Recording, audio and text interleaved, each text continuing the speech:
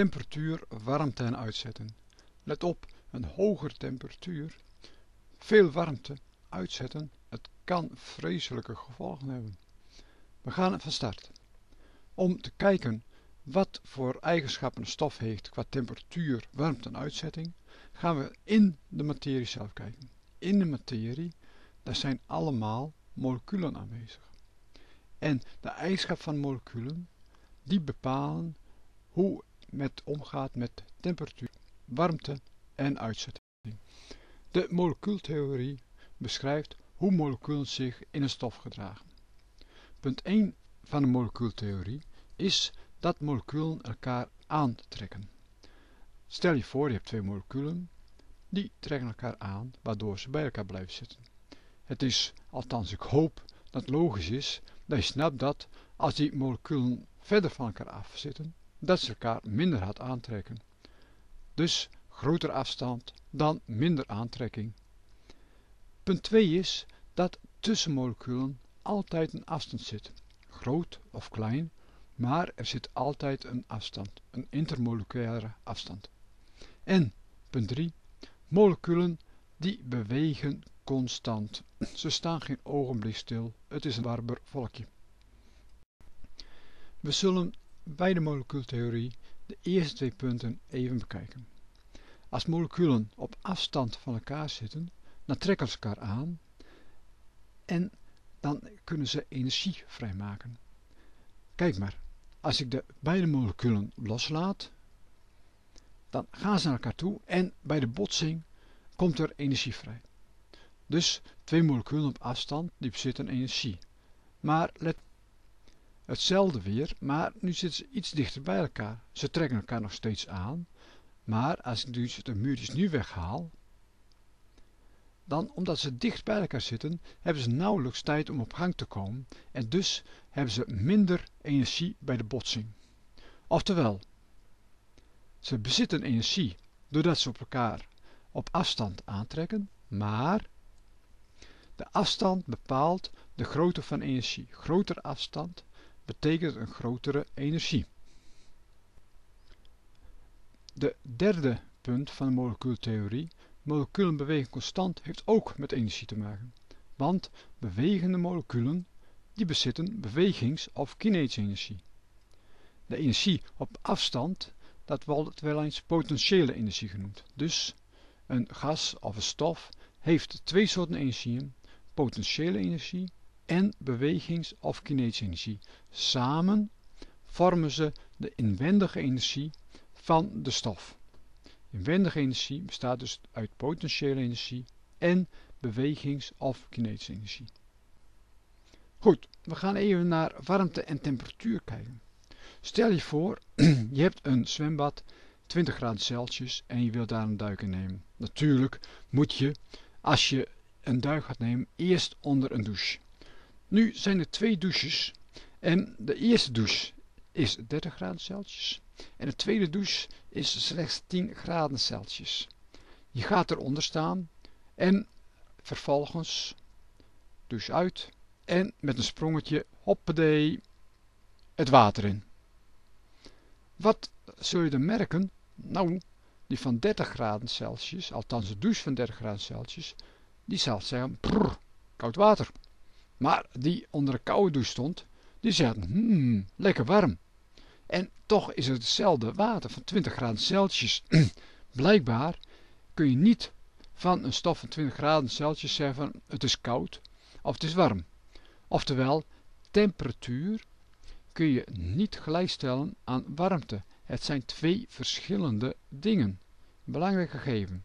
We kijken eventjes in detail naar de twee personen. We kijken eerst naar de zwemmer van 30 graden Celsius, althans die onder de douche stond van 30 graden Celsius. Die 30 graden Celsius van de zwemmer, dat betekent dat de moleculen daar harder bewegen. Dus er is meer kinetische energie. En kinetische energie betekent dat dat gaat stromen.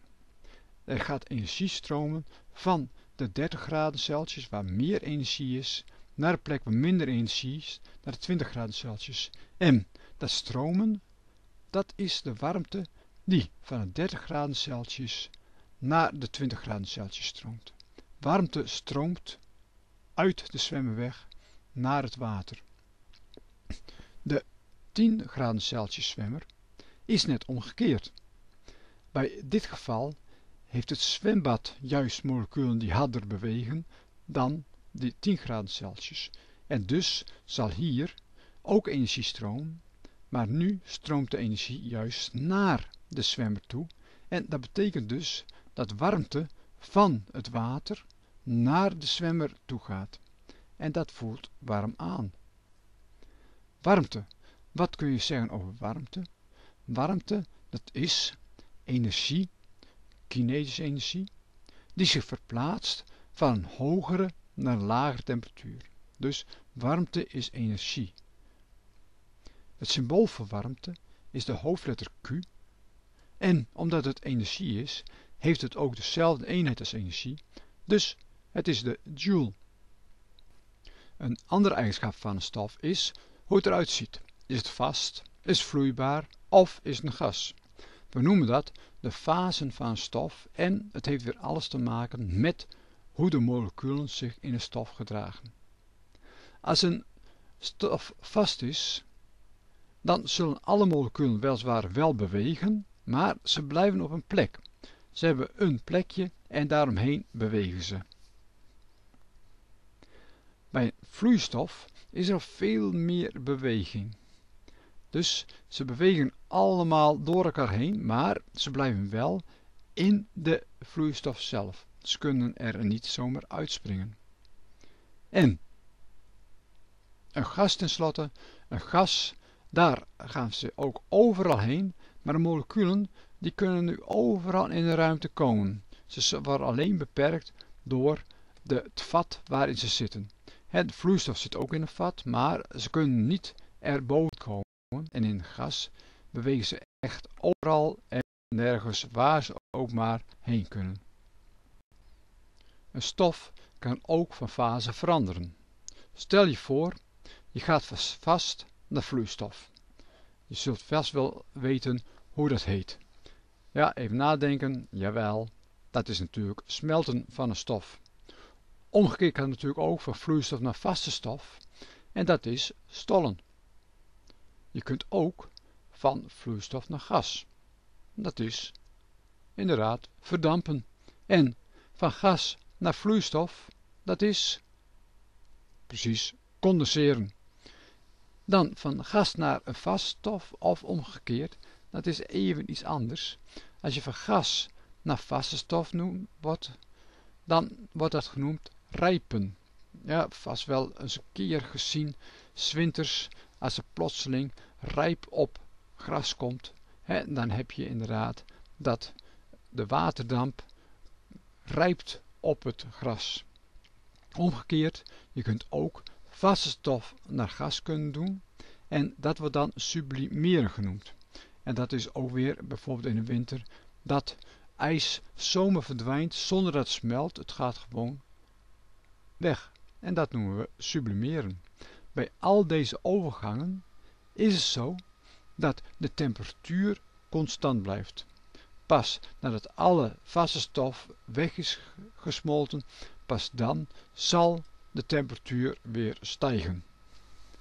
Temperatuur, daar moeten we het nog wel even over hebben, want ja, eh, het symbool voor temperatuur is op zich alweer bijzonder. Maar er zijn namelijk twee. Namelijk de kleine letter T en de hoofdletter T. Wanneer gebruik je nu de kleine letter T?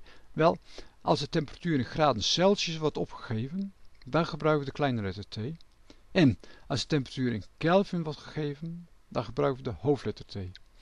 Let op, je spreekt over graden Celsius en je spreekt over Kelvin, dus niet over graden Kelvin. Uh, graden Celsius, dat is gedefinieerd als bij 0 graden Celsius, dat is het vriespunt van water. En 100 graden Celsius is het kookpunt van water. En daaromheen zit natuurlijk een mooie schaalverdeling. Kelvin heeft natuurlijk ook een gedefinieerd nulpunt. En 0 Kelvin, dat is het absoluut nulpunt. Bij het absoluut nulpunt staat alles stil. Dus, en stiller dan stil kan niet, oftewel niks kan lagere temperatuur hebben dan 0 Kelvin. Dat is absoluut onmogelijk. Eh, 0 Kelvin komt overigens overeen met min 273 graden Celsius. Dat is behoorlijk koud dus.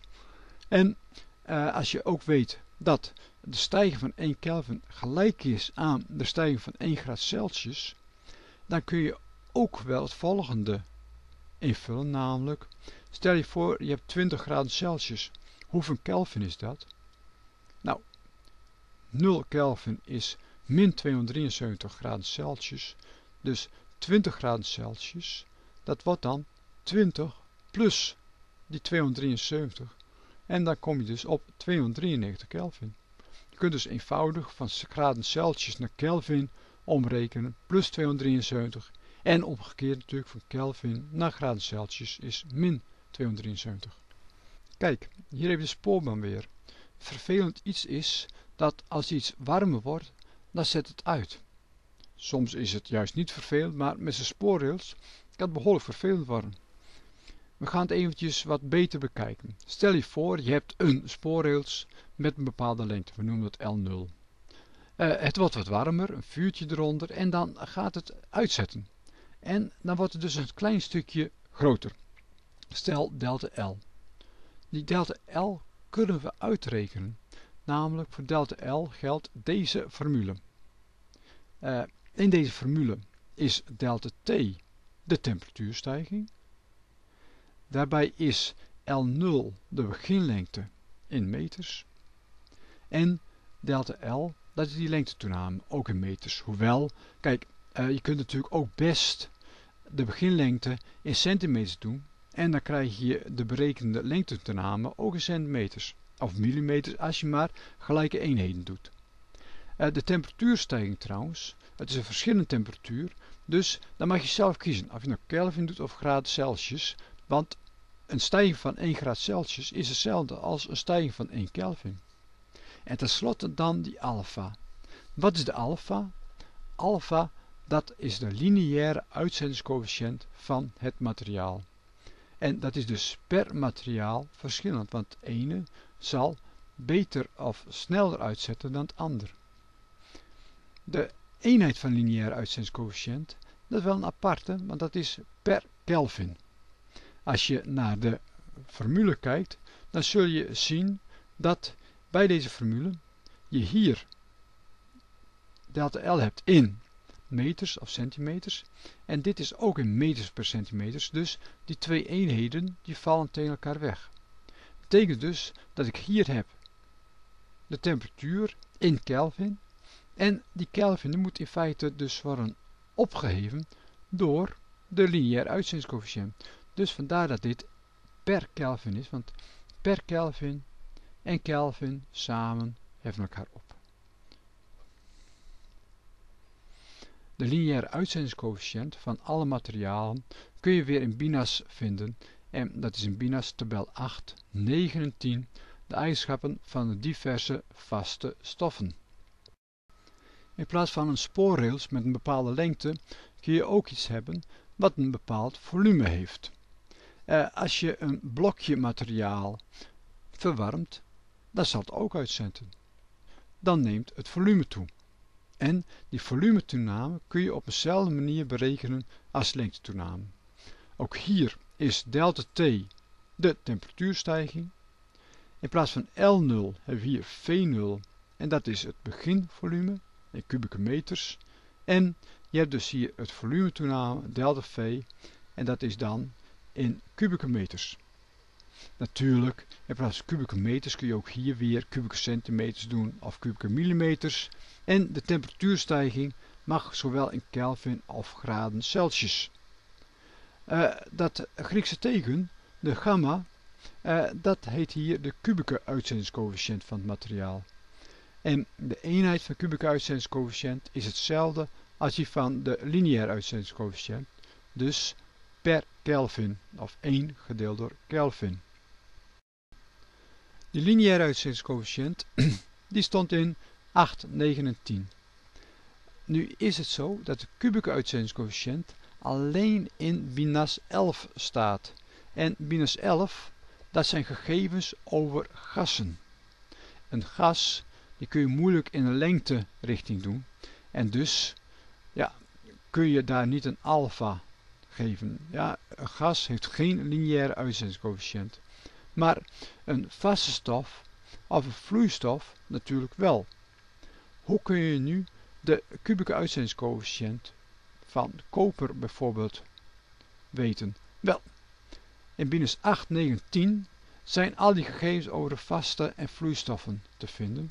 En omdat volume gelijk is aan lengte keer breedte keer hoogte, kun je de kubieke uitzendingscoëfficiënt ook berekenen door alfa keer alfa keer alfa te doen. Oftewel, de kubieke uitzendingscoëfficiënt is de lineaire uitzendingscoëfficiënt tot de macht 3. Oftewel, Binas 8, 9 en 10 geeft niet alleen de lineaire uitzendingscoëfficiënt, maar je kunt daar ook meteen de kubieke uitzendingscoëfficiënt eenvoudig mee berekenen.